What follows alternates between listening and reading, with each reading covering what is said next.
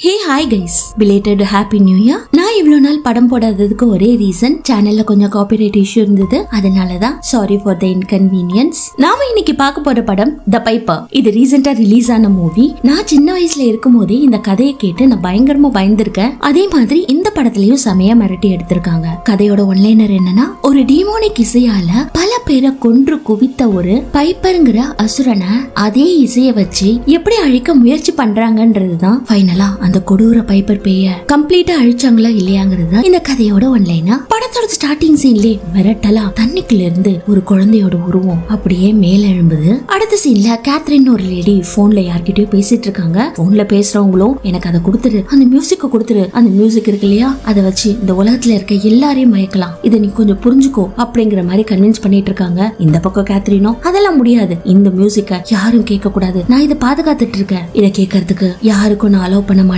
அப்படின்னு போன சடார்னு கட் பண்ணிட்டு கடகடன்னு அந்த மியூசிக் அதுக்கு தேவையான பொருட்கள் எல்லாத்தையும் எடுத்துக்கிட்டு வீட்டை விட்டு கீழே இறங்குறாங்க. அங்க இந்த பழைய பொருட்கள் எல்லாம் போட்டு கொளுத்துறதுக்குன்னு ஒரு இடம் ஃபாரின்ல வச்சிருப்பாங்க இல்லையா? அது மாதிரி ஒரு குப்பை தொட்டி மாதிரி இருக்கு. அந்த இடத்துல இந்த பாக்ஸ் வச்சு பெட்ரோல் எல்லாம் ஊத்தி பத்த வச்சிடுறாங்கங்க. அந்த மியூசிக் அந்த பாக்ஸோட அதோட மெட்டீரியல்ஸோட எரிஞ்சிட்டு இருக்கும் போது அவங்க ஒரு பாக்ஸ்ல தான் வச்சு அந்த மியூசிக் நோட்ஸை எரிச்சிட்டு இருப்பாங்க. அந்த சமயத்துல பார்த்தா திடீர்னு அந்த பாக்ஸ் மூடிக்குமா? இவங்க கையில ஒரு குச்சியை வச்சு அந்த பாக்ஸை எவ்வளவு ஓபன் பண்ண நினைக்கிறாங்க. பட் முடியல. அந்த சமயத்துல இடியும் மின்னலுமா அந்த இடத்துல பயங்கரமா மழை கொட்ட அவங்க நின்றுட்டு இருக்க இடத்துக்கு பக்கத்துலயே கும்மிருட்டா இருக்கு. அது அடர்ந்த காடு. அந்த காட்டுக்குள்ள இருந்து பயங்கரமான சத்தம். என்ன சத்தம் வருது? என்ன மியூசிக் வருதுன்னு அப்படியே கூர்ந்து கவனிச்சிட்டு இருக்காங்க அந்த சமயத்துல. படார்னு ஒரு கண்ணோட ஒளி பிளிங்க் ஆக அதை பார்த்த உடனே வீலுன்னு கத்துறாங்க. அதே சமயத்துல எரிஞ்சிட்டு இருந்த நெருப்பு அவங்கள புடிச்சு மொத்தமா கொளுத்திடுது துடிச்சு போய் அந்த இடத்துல இறந்து போயிடுறாங்க. ஆனா கம்ப்ளீட்டா அந்த மியூசிக்கோட மெட்டீரியல்ஸ் எரியலங்க. மழை முழுசா பெஞ்சு அதை அணைச்சிடுது. பாதி எரிஞ்சும் எரியாமையும் இருக்கிற அந்த மியூசிக் மெட்டீரியல்ஸ் நமக்கு காட்டுறாங்க. அந்த இடத்துல கர்ஸ் ஆஃப் த பைப்பா அப்படின்னு படத்தோட டைட்டில் போட்டு படத்தையும் ஆரம்பிக்கிறாங்க. அடுத்த சீன்ல இந்த படத்தோட ஹீரோயின் மெலிசாவை காட்டுறாங்க. அவங்க ஒரு ஆர்கெஸ்ட்ரால சிம்பனி வாசிச்சிட்டு இருக்காங்க. அந்த இடத்துல பார்த்தா அழகான மியூசிக்ஸ் நம்ம கேட்கும் போதே மெய் மறக்கிற மாதிரி இருக்கு. அந்த மியூசிக் ஆர்கெஸ்ட்ரா போயிட்டு இருக்கும் போதே அந்த இடத்துக்கு ஜோயின்னு ஒரு குழந்தை. அவளுக்கு காது கேட்காதுங்க. அவ காதுல இருக்க அந்த இதை எடுத்துட்டு என்ன ரிதம் கேக்குது அப்படிங்கறத அவங்க அம்மா பிராக்டிஸ் பண்ணிருப்பாங்க சோ இங்க வாசிக்கிற மியூசிக் அவளுக்கு உணர்ச்சி மூலியமா புரியுதா அப்படிங்கிற மாதிரி அந்த ஆர்கெஸ்ட்ராக்குள்ள உலாவிக்கிட்டே இருக்கா. அந்த ஆர்கெஸ்ட்ராவும் முடிஞ்சிருது. அந்த ஆர்கெஸ்ட்ராவோட ஹெட் இருக்காரு இல்லையா? அவரோட பேரு கெஸ்டப்சன் அவர் பாத்தீங்கன்னா பயங்கரமான ஸ்ட்ரிக்ட் ஆபீசர் அந்த கேத்ரின் சரியா வாசிக்கலன்னு சொல்லிட்டு ஒரு லெக்சர் கொடுப்பாரு பாருங்க. அதுலயே அதிர்ற மாதிரி இருக்கும். ஆர்கெஸ்ட்ராங்கிறது எல்லாரும் சேர்ந்து ஒன்னா வாசிக்கிறது தான் ஆர்கெஸ்ட்ரா அதுல தனியான மியூசிக் சிங்கிளா கேட்டுச்சுன்னா அதுக்கு பேர் ஆர்கெஸ்ட்ரா கிடையாது. இல்லையா கேத்ரின் அப்படின்னு கேத்ரினை பார்த்து கேட்டோன்னா ஆமா நான் மெதுவா சொல்றா. எனக்கு சத்தமா சொல்லு அப்படின்னு சொல்லி சொல்லிட்டு அவளை பிடிச்சி அதட்டுவாரு பாருங்க. ஆமா அப்படின்னு அவளும் ஒத்துக்கிறா. அதாவது ஹீரோயின் வாசிச்ச அந்த மியூசிக்ல ஏதோ ஒரு பிழை இருக்கிறத அவர் கண்டுபிடிச்சிருக்காரு. பட் அதை தன்மையா சொல்லாம பயங்கர கோவத்தோட சொல்லுவாரு அதை பார்த்து குழந்தைங்களுக்கே எரிச்சல் வரும். அந்த மியூசிக் ப்ரோக்ராம் முடிஞ்சோடனே எல்லாரும் கிளம்ப ஆரம்பிப்பாங்க. அந்த சமயத்துல பார்த்தா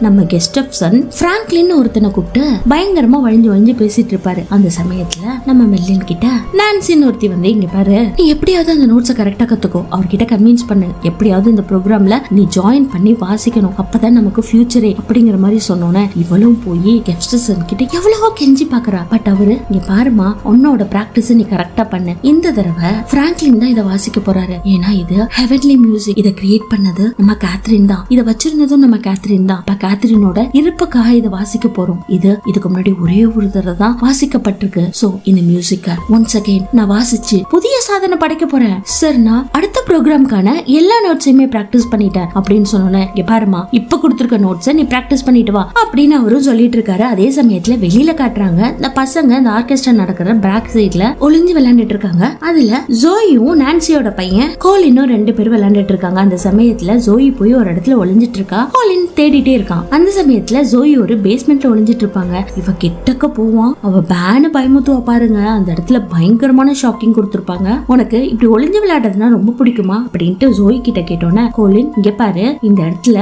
பயங்கரமான மர்மமான விஷயங்கள்லாம் நிறைய நடந்திருக்கான் இதுக்கு முன்னாடி பல குழந்தைகள் இந்த இடத்துல காணா போயிருக்கான் அதுக்கப்புறம் தான் இந்த ஸ்டூடியோவை ரெடி பண்ணி இந்த மியூசிக்கே பண்ணிட்டு இருக்காங்க அப்படின்னு இவங்க ரெண்டு பேரும் பேசிட்டு இருக்கும் போதே என்னோட அம்மா நான்சி அந்த இடத்துக்கு வந்து இங்க எல்லாம் விளையாடக்கூடாது வாங்க அப்படின்னு வீட்டுக்கு கூட்டிட்டு போயிடுறாங்க. மெர்லினும் நான்சியும் ஒரே வீட்டுல தான் தங்கியிருக்காங்க. சோ இந்த ரெண்டு குழந்தைங்களும் ஒரே வீட்டுல தான் இருக்காங்க. அதுக்கப்புறம் மெர்லின் ஒரு பாருக்கு போயிட்டு வீட்டுக்கு போறான். அந்த சமயத்துல குழந்தை சோயி மட்டும் தனியா உட்காந்து ஃபிளூட் வாசிச்சிட்டு இருக்கா. அவளுக்கு சரியா வராததுனால அந்த ஃபிளூட் தூக்கி போட்டுட்டு இருக்க அதை பார்த்த மெர்லின் இங்க பாரு உனக்கு கண்டிப்பா ஃப்ளூட் வாசிக்க முடியும். நீ கேட்காமலே நிறைய விஷயங்களை பண்ண முடியும் சரியா? மியூசிக்கு முதல் விஷயம் நல்லா ஒத்து கவனிக்கிறது தான். சோ நான் உனக்கு ஒரு விஷயத்த சொல்லி கொடுக்குறவா அப்படின்னு அவளை கூட்டிட்டு போயிட்டு டைனிங் டேபிள் உட்கார வச்சு அங்க ஒரு கிளாஸ் இருக்கு பக்கத்துலயே தண்ணி இருக்கு. அவளோட ஹியர் ஹெட்ஸ் எல்லாம் எடுத்துட்டு அந்த தண்ணியை தொட்டு அந்த கிளாஸ்ல தடவுறா அதுல இருந்து ஒரு மியூசிக் வருது. சோ அதையே ஜோயையும் பண்ண சொல்றா. அந்த மியூசிக்க அவ ஃபீல் பண்ணணும். கேட்க முடியலனாலும் ஃபீல் பண்ணணும் அப்படின்னு கத்து கொடுத்துட்டு இருக்காங்க அதுக்கு அடுத்த சீன்ல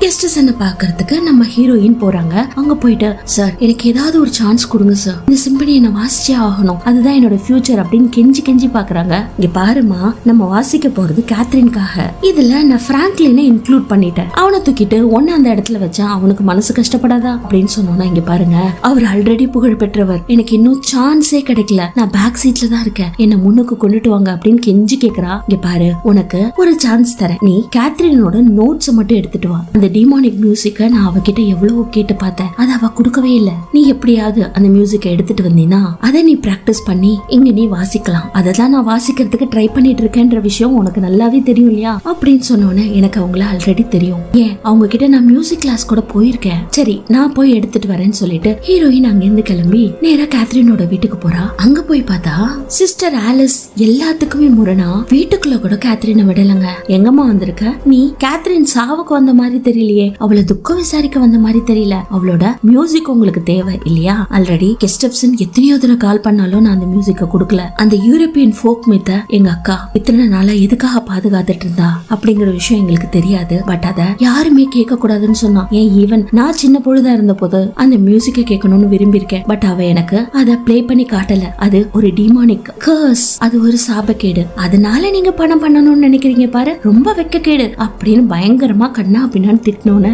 ஹீரோயின் சரி நான் கிளம்புறேன் அப்படின்னு சொல்லிட்டு அந்த இடத்த விட்டு போயிடுறா. அடுத்த சீன்ல ஆலிஸ் அந்த வீட்டை விட்டு கிளம்புனதுக்கு அப்புறம் அந்த வீட்டுக்கு பக்கத்துலயே ஒரு புதர் மாதிரி இருக்குங்க. அங்க கார்ல வெயிட் பண்ணிட்டு இருந்த நம்ம ஹீரோயின் ஆலிஸ் போனதுக்கு அப்புறம் அந்த வீட்டுக்குள்ள நுழையிறா. எல்லா இடத்துலயும் தேடி பார்த்துட்டு ஃபைனலா கேத்ரினோட அந்த மியூசிக் பாக்ஸையும் அந்த மெட்டீரியல்ஸையும் எடுத்துக்கிறாங்க. அதுல first episode and second episode ரெண்டு தாங்க இருக்கு. சரி கிடைச்ச வரைக்கும் லாபம். இதை எடுத்துட்டு போய் எப்படியாவது சான்ஸ் கேட்கலாம் அப்படின்னு அந்த மியூசிக் மெட்டீரியல்ஸ் எல்லாம் எடுத்தவ அதை ப்ளே பண்ணியும் பாக்குறாங்க. அந்த சமயத்துல அந்த டிமோனிக் மியூசிக் மயக்கிற மாதிரி இருக்கு. இவளுக்கு ஏதேதோ நினைவுகள்லாம் வருது. நெருப்பு எரியற மாதிரி இருக்கு. கடல் தண்ணி மாதிரி இருக்கு. இங்கேயோ நிக்கிற மாதிரி இருக்கு. திடீர்னு பயங்கரமா காத்தடிக்குது. ஒரு காக்கா வந்து வேகமா அங்க இருக்கிற ஜன்னல்ல குத்தி அப்படியே நிக்கும் பாருங்க. சரின்னு அந்த மெட்டீரியல்ஸ் எல்லாம் எடுத்துக்கிட்டு கார் கிட்டயும் வந்துடுறா. காரை ஸ்டார்ட் பண்ணலாம்னு நினைக்கும் போது கார் சாவியை அதே ரூம்ல மிஸ் பண்ணிருப்பா. சரி எடுத்துட்டு வரலான்ட்டு அந்த ரூம்குள்ள போறாங்க. அந்த இடத்துல ஏதோ ஒரு உருவம். நம்ம ஹீரோயினை மிரட்ட தப்ப தப்பன்னு அங்கிருந்து உளுந்து அடிச்சு காரை எடுத்துட்டு கிளம்பணும்னு நினைச்சா கார் ஸ்டார்ட்டே ஆகல. ஆனா அந்த உருவம் இந்த காருக்கு பின்னாடி அப்படியே பொறுமையா வரும் பாருங்க. திடீர்னு அவன் முன்னாடி வந்து நிக்குமா? பயங்கரமா பயந்துறா எப்படியோ அங்க இருந்து தப தபன் காரை எடுத்துக்கிட்டு நேரா கஸ்டப்சன் வந்து மீட் பண்றா.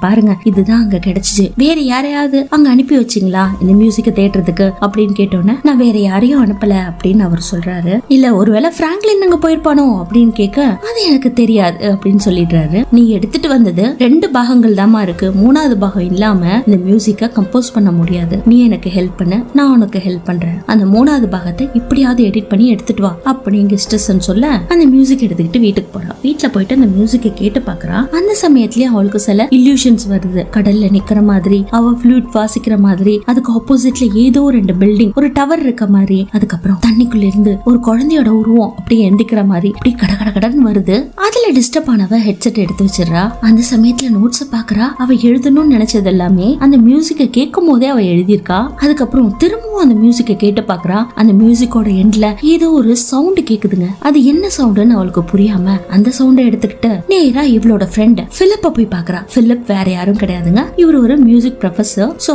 அவர்கிட்ட போனோன்னா அவரு மியூசிக் சம்பந்தமான நிறைய விஷயங்களை பிளா பிளா பிளான்னு சொல்ல ஃபைனலா அந்த மியூசிக்கை கொடுத்து இது எப்படி இருக்கு தெரியுமா? இதை நீ கொஞ்சம் கேட்டு பாரு. அப்படின்னா அவனும் அதை கேட்டு பாக்குறான் பயங்கர ஹெவன்லியா இருக்கு. இது ஒரு டிமானிக் மியூசிக் மாதிரி இருக்கு. இந்த மியூசிக்கை யாரு கேட்டாலும் அப்படியே மெய் மறந்து தன்னையே மறந்து எது வேணாலும் செஞ்சுப்பாங்க. அப்படிங்கிற மாதிரி சொல்ல சரி நீ ஓவரா பேசாத. என் மியூசிக்க கொஞ்சம் கிளியர் பண்ணி கொடு. அப்படின்னு சொல்லிட்டு அங்க இருந்து ஹீரோயின் கிளம்ப. அந்த சமயத்துல வீட்டுல காட்டுறாங்க நான்சி வயலின் பிராக்டிஸ் பண்ணிட்டு இருக்கா குழந்தைங்க? பேசுறது அவளுக்கு டிஸ்டர்பன்ஸா இருக்கும் போது நீங்க கொஞ்சம் அமைதியா இருங்க அப்படின்னு சொன்னோன்னு இந்த ரெண்டு குழந்தைகளும் கடகடன்னு போயிட்டு ஹீரோயின் வச்சிருக்க அந்த மியூசிக்க பாக்குறாங்க. அந்த சமயத்துல ஒளிஞ்சு விளையாடணும்னு நினைக்கும் போது ஜோயி போய் ஒளிஞ்சுக்கிறா. அந்த சமயத்துல கோலின் அங்க இருக்க மியூசிக்க கேட்டு பார்க்கலான்னு கேக்குறான். அவன் அந்த மியூசிக்க கேட்கும் போது அப்படியே எல்லாமே மறந்து போயிடுறான். அதுக்கப்புறம் ஜோயிய கண்டுபிடிக்கிறதுக்காக போறான். அவ இருட்டுல ஒரு இடத்துல ஒளிஞ்சிட்டு இருக்காங்க இவனும் அப்படியே ஃபாலோ பண்ணிட்டு போயிட்டே இருக்கான். ஜோயி கையில ஒரு பால் இருக்குங்க. அந்த பால் மட்டும் தனியா உருண்டு வருது. ஜோய காணும். அந்த இருட்டுக்குள்ளேயும் பொறுமையா தேடிட்டு போக. அந்த சமயத்துல ஒரு இருட்டான இடத்துல அந்த பைப்பரோட உருவம் அப்படியே கருப்பு கலர்ல மாஸ்க் போட்ட மாதிரி நின்னுட்டு இருக்கு அத கோலின் பாத்துறான் அப்படியே பயந்து போய் நின்னுட்டு இருக்கான் அந்த சமயத்துல ஜோயி வந்து தொட ஈச்சுன்னு கத்திக்கிட்டு அந்த இடத்த விட்டு ஓடி போயிடுவான் பாருங்க. இவன் இந்த மியூசிக்க கேட்டதுல இருந்து ஒரு மாதிரி அஃபெக்ட் ஆயிருவான். அடுத்த சீன்ல இவங்க ரெண்டு பேரும் வீச்சுன்னு கத்திட்டு வந்தத இவங்க ரெண்டு பேரும் கேக்குறாங்க. ஹீரோயினும் நான்சியும் என்னாச்சு? எதுக்கு கத்திட்டு வந்தீங்க? அப்படின்னு கேட்டோன்னே இல்ல நாங்க அங்க விளையாட போனோம். அந்த சமயத்துல லைட்ஸ் எல்லாம் ஆஃப் ஆயிடுச்சு இருட்டாயிடுச்சு. அப்படின்னு சொன்னோன்னே இது மாதிரி பயமுறுத்தி ஒளிஞ்சு விளையாடுறத கொஞ்சம் விடுங்க. அப்படின்னு சொல்லிடுறாங்க. அடுத்த சீன்ல நான்சி கோலின தூங்க வைக்க போறா. அந்த சமயத்துல அவன் விசில் பண்ணிட்டே இருக்கான். அந்த சாங்கையே விசில் பண்ணிட்டு இருக்கான். டேய் இங்க பாருடா. சும்மா நீ இந்த விசில் பண்றதெல்லாம் விட்டுட்டு நிம்மதியா தூங்கு. அப்பதான் என்னால தூங்க முடியும். அப்படி அப்படின்னு நான்சி சொல்லிட்டு ரெண்டு அடி எடுத்து வச்சிருப்பாங்க. அந்த சமயத்துல திரும்பவும் அவ அதே மியூசிக்க விசில் பண்ணிட்டு இருக்க. திரும்ப போய் நான்சி எட்டி பாக்குறா. பட் அவன் அந்த மியூசிக்க வாசிக்கல. ஒரு வழியா கோலின் நல்லா தூங்கிட்டு இருக்காங்க. அந்த சமயத்துல அவனுக்கு ஏதோ ஒரு டிஸ்டர்பன்ஸ் டக்குன்னு தூக்கத்துல இருந்து எந்திக்கிறான் என்ன ஏதுன்னு அந்த ரூம் எல்லாம் செக் பண்ணி பாக்குறான். அவனோட கட்டில் கடியில ஏதோ ஒரு சத்தம் கேட்டோன்னே கீழே குடிஞ்சு என்ன ஏதுன்னு பாப்பான் அந்த சமயத்துல கட்டில் கடியில ஒரு பெரிய எலிய பாக்குறான். அதை பார்த்த உடனே பயங்கர பயந்து போய் பக்கத்துல இருக்க துணியை தூக்கி அந்த எலி மேல போட்டுறான். அந்த எலியோ அந்த துணியோட அவன்கிட்ட வரும் பாருங்க. அதை பார்த்து பயந்துகிட்டே அப்படியே பின்னாடியே போயிட்டு இருக்கான் பின்னாடி போனவன் கபோர்ட்ல அப்படியே இடிச்சுக்கிறாங்க.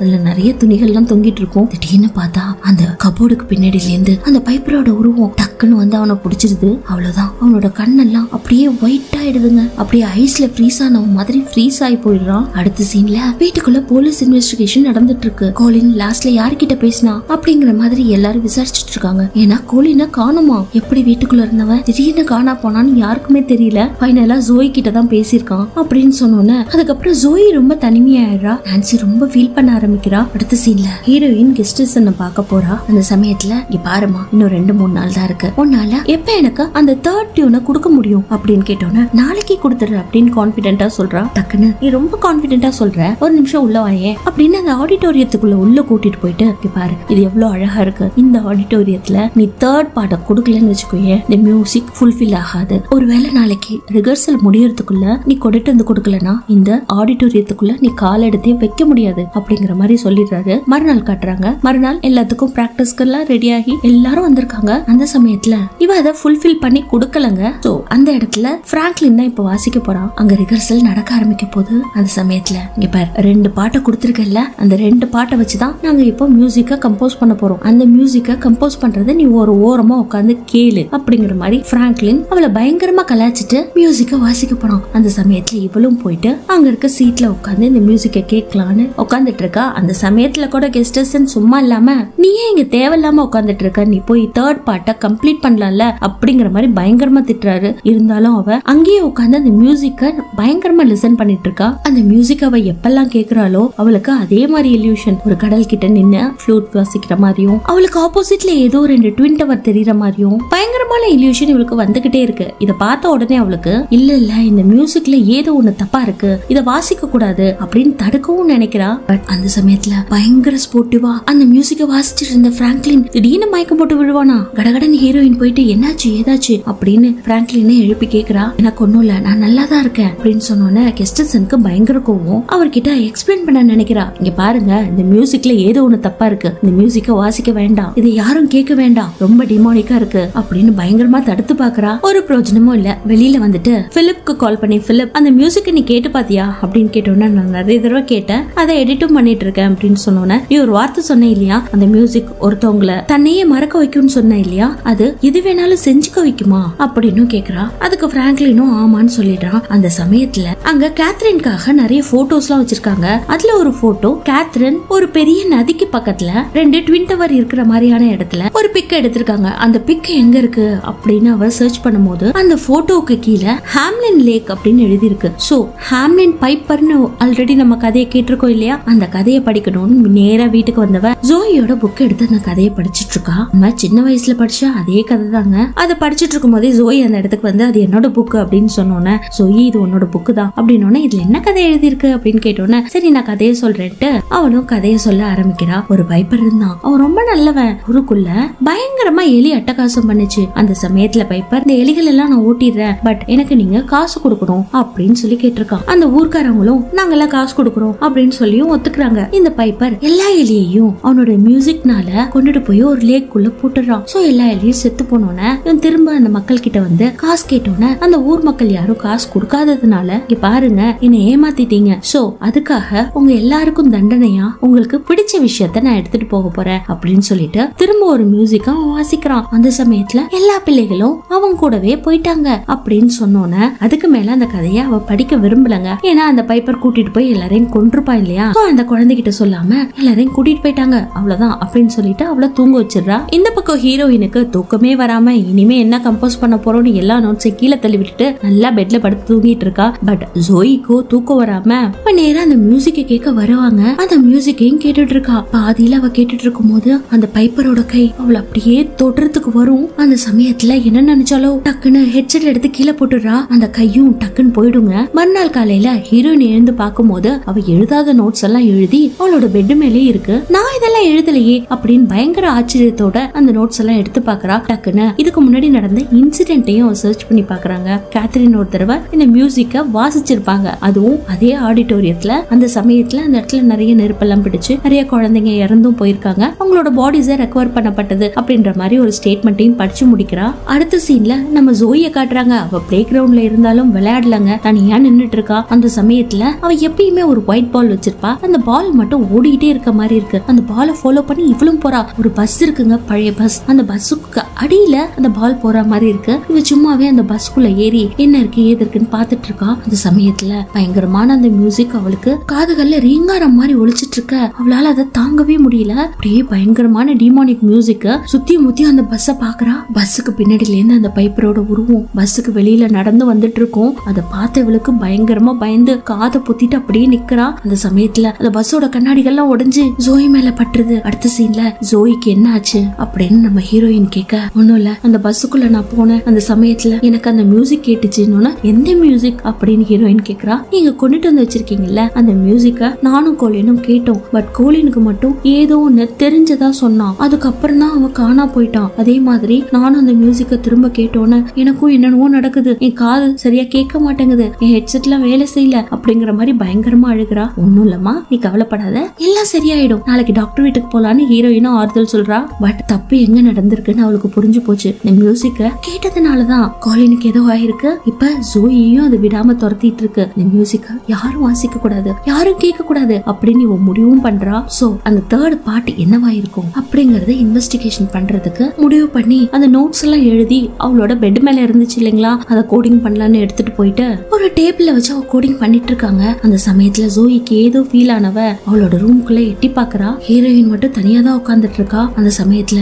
ஏதோ ஒரு உருவம் டக்குன்னு கிராஸ் ஆகுது. பக்குன்னு பயந்து போன ஜோயி அந்த ரூம்குள்ள போறா. அந்த ரூம்குள்ள ஹீரோயின் உட்காந்து டேபிள்ல ஏதோ எழுதிட்டு இருக்க மாதிரி இருக்கு. பின்னாடியே போயிட்டு அம்மா அம்மான்னு கூப்பிட்டு கூப்பிட்டு பாக்குறா. அந்த சமயத்துல ஹீரோயின் திரும்பவா பாருங்க. அவளோட கண்ணெல்லாம் நெருப்பா இருக்கும். அவன் முகம் விகாரமா இருக்கும் ஈன்னு சொல்லிட்டு திரும்பவும் அது குனிஞ்சுக்கிட்டு கடகட கடகட என்னமோ நோட்ஸ் எழுதிட்டு இருக்கும். அதை பார்த்த ஜோய்க்கு ஒண்ணுமே புரியாது. அவ எழுதிட்டு இருக்க நோட்ஸ் எல்லாம் எடுத்து டக்குன்னு கீழ்ச்சி போட்டு அம்மா நீங்க வெளியில வாங்கம்மா. நீங்க வெளியில வாங்க. அப்படின்னு சொன்னோன்னே டக்குன்னு ஹீரோயின் சுய நினைவுக்கு வந்துடுறா. இதுல இருந்து என்ன தெரியுதுன்னா அவ அந்த டிமியானிக் மியூசிக்க நிறைய தடவை கேட்டிருப்பா. அதை கோடிங்கும் பண்ண ட்ரை பண்ணிருப்பா இல்லைங்களா? அவளுக்கும் அந்த பைப்பரோட கர்ஸ் ஆட்டி படைக்குது. பட் அவளுக்கே அந்த விஷயம் தெரியலங்க. ஜோய் அதை கண்டுபிடிச்சு அவளை வெளியில கொண்டுட்டு வந்து இதுக்கு மேல இந்த மியூசிக்ல நீங்க கான்சென்ட்ரேட் பண்ணாதீங்க. உங்களை நான் இழந்துருவோம் போல இருக்கு அப்படின்னு பயங்கரமா ஃபீல் பண்ணுவா. அடுத்த சீன்ல ஆடிட்டோரியத்துல காட்டுறாங்க. எல்லாரும் பெர்ஃபார்ம் பண்றதுக்கு அதாவது கடைசியான பிராக்டிஸ் நடந்துட்டு இருக்கு அந்த சமயத்துல பிராங்க்லின் எஸ்டன் கிட்ட அவ தேர்ட் காப்பியை கொடுக்கல இல்லையா? அப்படின்னு கேட்டோன்னே அவ தேர்ட் காப்பியை இன்னும் ரெடி பண்ணிட்டு வந்து கொடுக்கல அப்படின்னு அவனும் சொல்றான். டக்குனு பிராங்க்லின் இந்த வேலையை என்கிட்ட கொடுத்திருந்தா நான் கரெக்டா பண்ணிருப்பேன் இல்லையா? என்ன நம்பாம அவகிட்ட கொடுத்துட்டு ரெடி பண்ணி கொடுத்தா உனக்கு மியூசிக் வாசிக்கிறதுக்கு இடம் கொடுக்குறேன்னு சொன்னீங்க அப்படின்னு கேட்டோன்னே ஆமாப்பா இத பத்தி பேச வேண்டிய நேரமா இது. இப்ப நம்ம தேர்ட் ரிகர்ஸ் ரிஹர்சல் பண்ண போறோம். வா அப்படின்னு சொல்லிட்டு ரிகர்சல் ஆரம்பிக்க போறாங்கங்க. அந்த சமயத்துல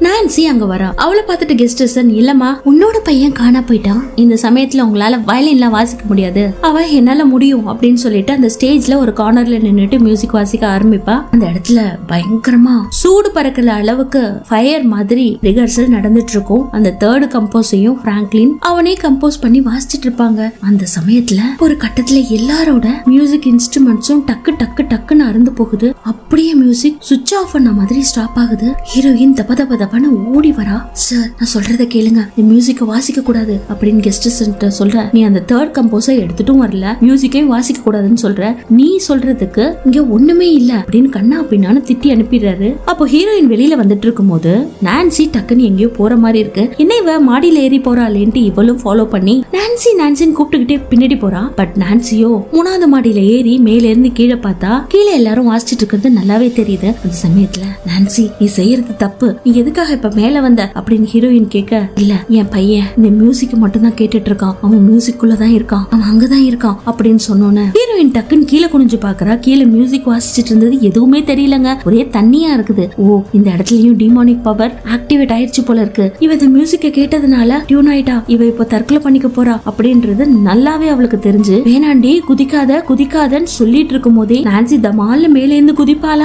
கீழே வந்து பார்த்தா நான்சியோட காலெல்லாம் உடஞ்சு போயிருக்குங்க. அந்த சமயத்துல எல்லாரும் திரும்பி ஒரு மாதிரி டிமானிக்கா பாக்குறாங்களே ஒழிய யாரும் ஹெல்ப் பண்ண வரல. உங்களுக்கு எல்லாம் என்ன ஆச்சு? ஏன் ஹெல்ப் பண்ண மாட்டீங்க? ஏன் அப்படி பாத்துட்டு இருக்கீங்க? அப்படின்னு ஹீரோயின் கேட்க கேட்க எல்லாரும் அப்படியே தான் பாத்துட்டு இருக்காங்க. அடுத்த சீன்ல ஹீரோயின் வீட்டுல இருக்க? அந்த சமயத்துல பிலிப் வந்திருக்க மாதிரி இருக்கு. பிலிப் கிட்ட பிலிப் நீ கொஞ்ச நேரம் என் பொண்ணு ஜோயிய பாத்துக்க எனக்கு முக்கியமான வேலை இருக்கு. அது மட்டும் இல்ல உனக்கு எப்பத்துல இருந்து இப்படி இருக்கு? அப்படின்னு கேக்குறான். எப்படி இருக்கு? அப்படின்னு அவன் கேட்க எனக்கும் சில பல கனவுகள்லாம் வருதுப்பா. அது மாதிரி உனக்கும் வருதா அப்படின்னு ஹீரோயின் கேக்குறா. எல்லாத்துக்கும் அவன் மறுத்துடுறான். இங்க பார் எனக்கு அந்த லேக்க ஒரு ட்வின் டவர் குழந்தைகள் இறந்து போற மாதிரி இந்த ஃபேரி டெய்ல இருக்கும் பாத்தியா? பைப்பரோட ஸ்டோரி அதே மாதிரி இருக்கு அப்படின்னு சொன்னோன்னே கடைசியா அவனும் ஒத்துக்கிறான். ஆமா எனக்கு கொஞ்சம் வேலை இருந்ததுனால சரியான தூக்கம் இல்ல. அது மட்டும் இல்ல நீ எனக்கு ஒரு மியூசிக்க கொடுத்து கிளியர் பண்ண சொன்ன இல்லையா? அத பல தடவை நான் கேட்டேன். மியூசிக்கை கிளியர் பண்ணி பார்த்தேன். அது மியூசிக்கே கிடையாது. ஏதோ ஒரு வாய்ஸ் அப்படின்னு சொன்னோன்னே டக்குன்னு ஹீரோயின் அதை கேட்டு பாக்குறா அந்த சமயத்துல அதுல ஒரு பைப்பரோட கேர்ஸ் தாங்க இருக்கு? அதுவும் லாட்டின் பாஷையில இருக்குங்க.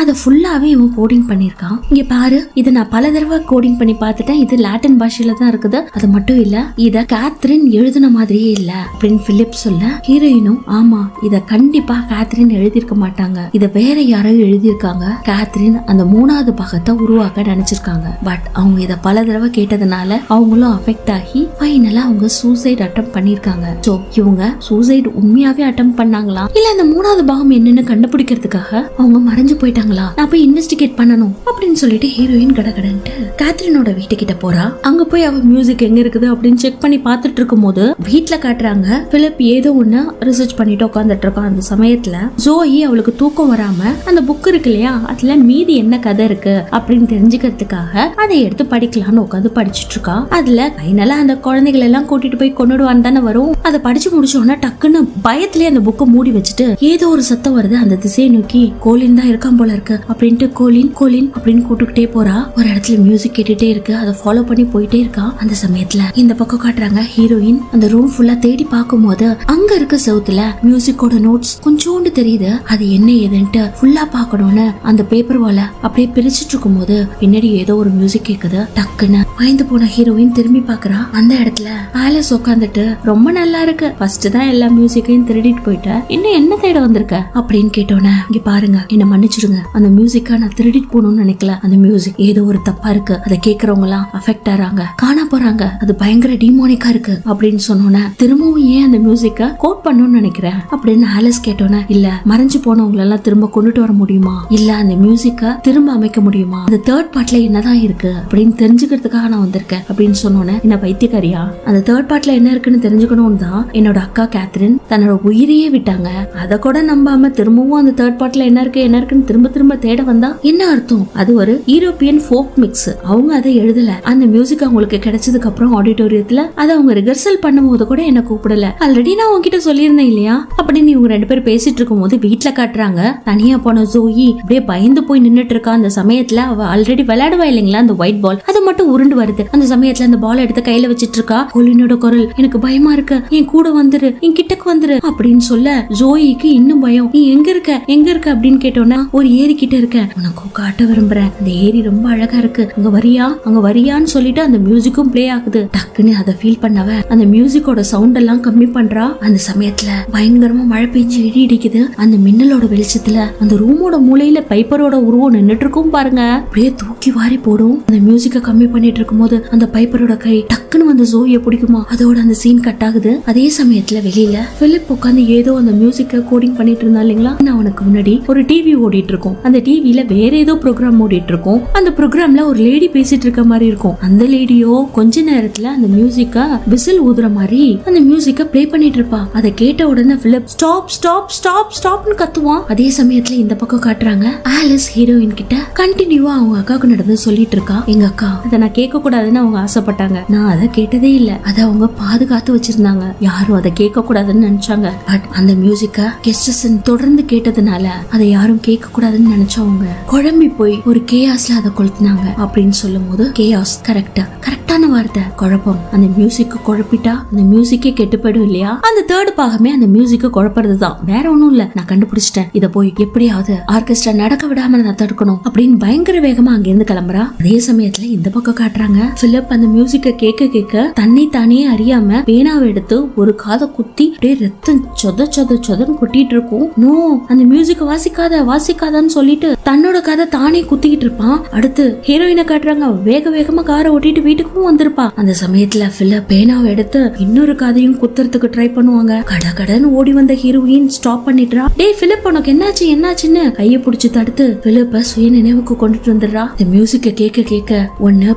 பெரியவங்களா இருக்கவங்க அடல்ட்டா இருக்கவங்க தன்னை மறந்து தற்கொலை பண்றதுக்கு துணிஞ்சு போறாங்க. குழந்தைகள் அந்த மியூசிக் மறைய வச்சிருது. இந்த மியூசிக்க என்ன பண்ணணுங்கிறது எனக்கு தெரியும். ஜோயி எங்க போனா? அவளை பாத்தியா? அப்படின்னு கேட்டோன்னே ஜோயி எனக்கு தெரியல தெரியல அப்படின்னு அவன் பயங்கரமா புலம்புறான். எனக்கு தெரியும். ஜோயி எங்க போயிருப்பான்னு எனக்கு தெரியும் அப்படின்ட்டு கட கட கடன்னு கார் எடுத்துக்கிட்டு அன்னைக்கு மியூசிக் ப்ரோக்ராம் நடந்துட்டு இருக்குங்க. அந்த இடத்துக்கு போறதுக்கு ட்ரை பண்ணிட்டு இருக்கா. அதே சமயத்துல ஆடிட்டோரியத்துல கெஸ்டசன் மக்கள்லாம் கூடி இருக்காங்க அந்த இடத்துல. கேத்ரினுக்காக இந்த மியூசிக்கை கேட்க போறீங்க. இது ஒரு ஹெவன்லி மியூசிக் சில்ட்ரன்ஸ்க்கான மியூசிக் நீங்க கேட்கும் போது தண்ணி தானே மறந்து இந்த மியூசிக்ல மூழ்கி போயிடுவீங்க அப்படி இந்த மியூசிக்கை பெருமையா பேசிட்டு அந்த மியூசிக்கையும் வாசிக்க ஆரம்பிக்கிறாங்க. இந்த சமயத்துல பயங்கரமா எல்லாரும் அப்படியே அமைதியா இருக்க இந்த மியூசிக் நெருப்பு மாதிரி பயங்கரமா வாசிக்கப்படுது. ஹீரோயின் ஒரு பக்கம் வேகமா காரை ஓட்டிட்டு வரா இந்த மியூசிக்கை கம்ப்ளீட் பண்ண விடக்கூடாது அப்படின்ட்டு வேக வேகமா காரை ஓட்டிட்டு வந்தவ நேர ஆடிட்டோரியத்துக்குள்ள வராங்க. அந்த சமயத்துல பார்த்தா அந்த ஆடிட்டோரியம் பூட்டி இருக்குது. ஹீரோயினால உள்ள வர முடியல. டக்குன்னு அவ மாடியில ஏறி ஜென்ரேட்டர் எங்க இருக்குன்னு தேடி அங்க இருக்க பவர் சப்ளைய கட் பண்ணிடுறா. மியூசிக்கும் பாதியிலே நின்னுடுது. அந்த இடமே கும்மிரட்டா இருக்கு. அந்த சமயத்துல நிசப்தமா இருக்கு. அங்க இருக்க மக்கள் யாருமே சின்ன சப்தம் கூட போடல. சைலண்டா அப்படியே உறைஞ்சு போய் உட்காந்துருக்காங்க அந்த சமயத்துல டோர் மாதிரி ஒண்ணு உருவாகுதுங்க. அந்த டோருக்குள்ள இருந்து பயங்கரமான மியூசிக் ஒலிக்குது. அதே சமயத்துல பிராங்க்லினோட உடம்புல இருந்து அந்த பைப்பரோட ஆவி அவனை பிச்சுக்கிட்டு கொஞ்சம் கொஞ்சமா பிச்சுக்கிட்டு அப்படியே வெளியில வரும் பாருங்க.